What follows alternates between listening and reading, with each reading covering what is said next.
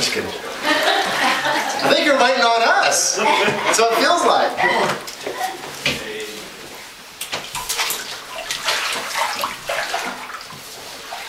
All right. This is Ed Bohannon, and a couple weeks ago, you and I talked about um, your relationship with the Lord. And uh, did you pray that day and give your life to Jesus? I did. All right. Let's go forward, son. All right, and upon your profession of faith, I baptize you, my brother, in the name of the Father, and the Son, and the Holy Spirit. Bearing baptism, raised in newness, follow Jesus.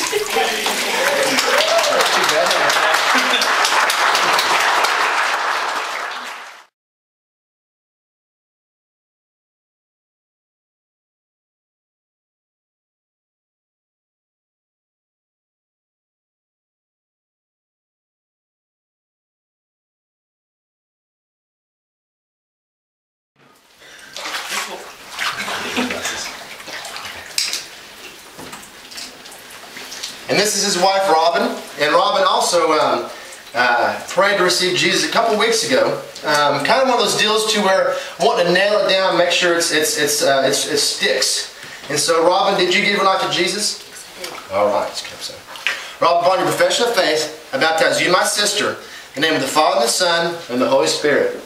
Bearing baptism, raised in newness to follow Jesus.